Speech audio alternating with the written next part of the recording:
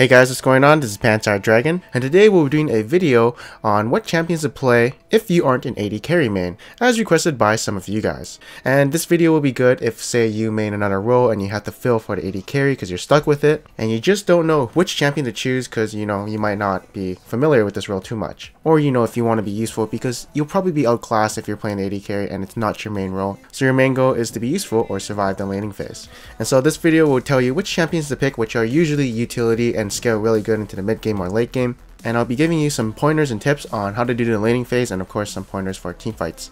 An example of a champion that's not going to be included in this video is someone like Draven because you know he takes a lot of mechanics, a lot of skill, and a lot of practice to be good at. So I think you guys understand what this video is going to be all about, and with all that being said, let's get started.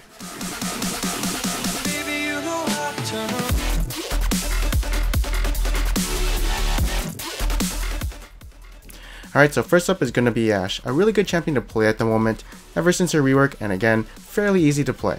Scales really well into the mid game and late game because of her utility coming from her ultimate to initiate, and of course the slow coming from her ultimate plus her auto attacks and volley. And she also has free clairvoyance with her E, so that's a lot of utility coming from her, and definitely she'll be useful even if she falls behind. She'd probably be my number one top priority when picking an AD carry if I had to fill in ranked. And how does the laning phase go for me exactly?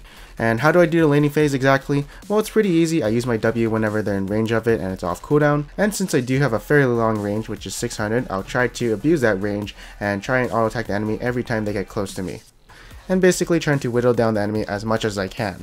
The only time I'd activate my Q is if we're going for a long extended trade because once it's up, I'll have more attack speed and enhanced auto attacks because of that ranger's focus. And in most trades, you'll probably win the sustained fight since, you know, Ashe does a lot of DPS. And then you use your Hawkshot to try and find an enemy jungler so that you can adjust your playstyle based on where the enemy jungler is. And you use your arrow whenever you think you can get a kill onto somebody.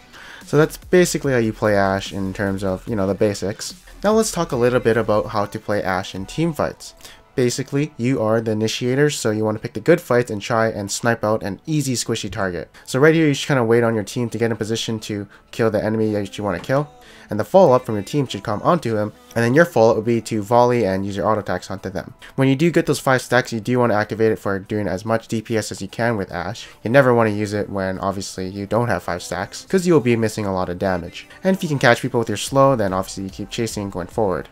And of course, try and dodge all CC if you can but of course you do want to try and stay behind your front line since you are pretty vulnerable as Ashe.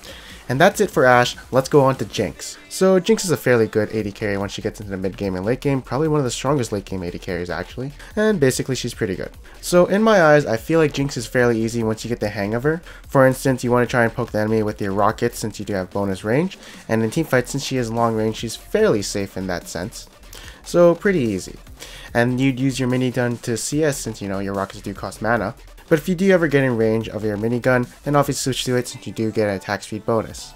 The way to use your Flame Chompers is use it to change CC with your ally or put it behind the enemy so that it does kind of zone them when you're going for those long trades. And then you'd use your zap if you're out of range of your auto attacks. If you're also getting ganked by the enemy jungler, try and put the Flame Chompers around your feet so that they have to run around these traps to get to you. As you can see in this clip, a pretty good example of how not to use the Flame Chompers when disengaging. And the way to use your ultimate is to finish people off off the map, or you know not in your distance, but usually you try and calculate where they're going to be, and then you just shoot it and see if you get a kill.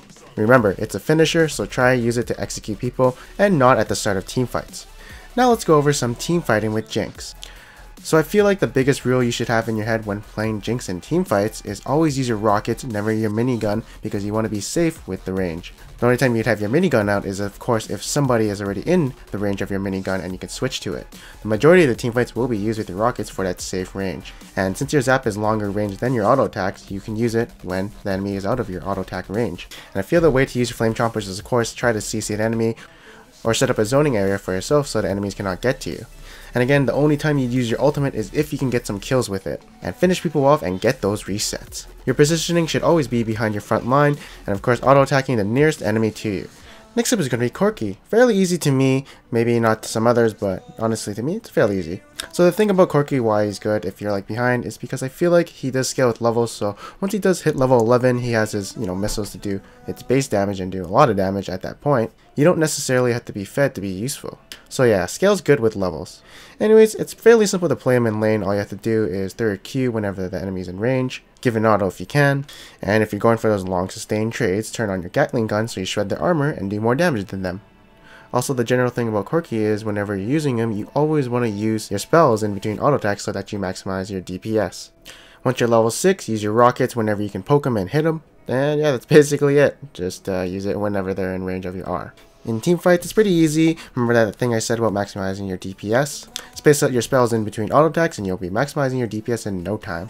And use your escape if you feel like you're in danger. And keep constantly auto attacking and throwing out missiles to the person who's in front of you or nearest to you. You do have pretty big bursts, so you can surprise enemies if they go after you or if you want to take someone down. So remember, your assassination potential is pretty high.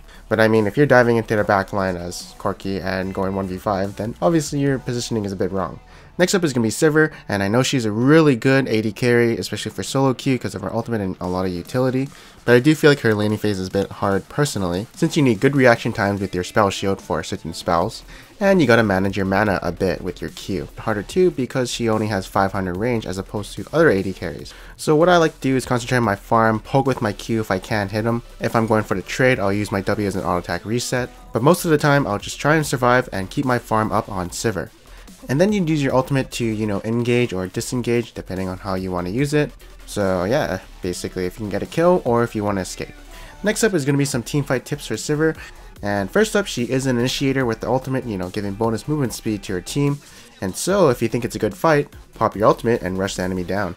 Then try and focus the enemy in front of you like always, use your W to auto attack reset if you can. Then pop your spell shield to block whatever spell that you think is a threat. It's pretty easy to position yourself up close to auto attack since you do have the bonus movement speed come from your passive and ultimate, so you can kite pretty good if needed.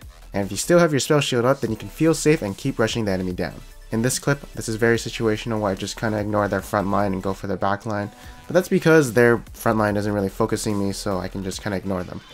Next up is going to be Miss Fortune, who isn't really that popular right now, but I still feel like she's actually pretty decent. And she's actually pretty easy to use in team fights.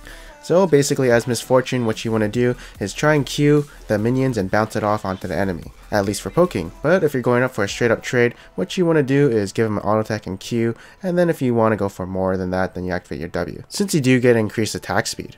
The only time I would use my E is to slow the enemy down and disengage, or use it to all in on the enemy, or if I combo with my ultimate. And I feel like the only time I use my ultimate is if all my cooldowns are down, or I can hit a bunch of people with my ultimate, or if the enemy isn't really in range of my auto attacks. In teamfights it's pretty easy, I'll keep auto attacking and using my Q on people that I see, use my E to slow enemies if they're in range of it, and then use my ultimate if there's a bunch of people clumped up for it, or they're out of range on my auto attacks. So I do feel like she's fairly easy to use in teamfights. Next up is going to be Kog'Maw. And you know, he's kind of like Corki. He scales with levels, you know, the rockets, except, you know, his arcane barrage, which does scale way better than the rockets. And he has maximum percent health damage plus long range. So he's always going to be useful as long as he has a few items or levels. And he's fairly easy to play in the laning phase. All you really have to do is poke the enemy when your W is up as you do have the bonus range so you will be hitting them while they cannot hit you.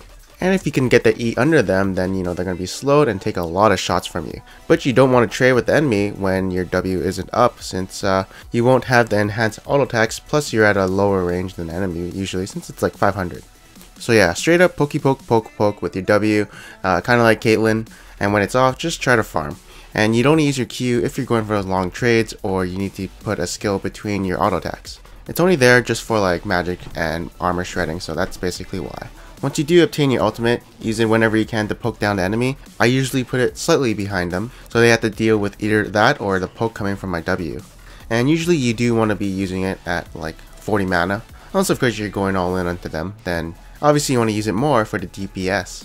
And for team fights, it's pretty easy for Kog'Maw. If you are going to fight and feel like you're going to be auto-attacking a lot, you activate your W. But of course, if you don't have the W before the team fight starts, then it's a bit of a problem. So if you don't have it up, tell your team to back off and wait for the cooldown when it comes back up. Then you use your E to create a zoning field so you get the enemies off you.